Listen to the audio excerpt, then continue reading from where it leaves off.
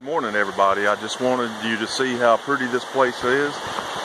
I'm here, this is a big creek in the Cataloochee Valley.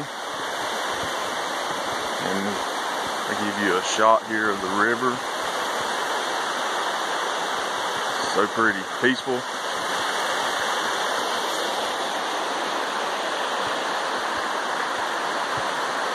But people ask me every weekend, where you, where you headed to this weekend? Well, I put about 40,000 miles on different vehicles this year and little to no sleep a lot of times. But it hit me.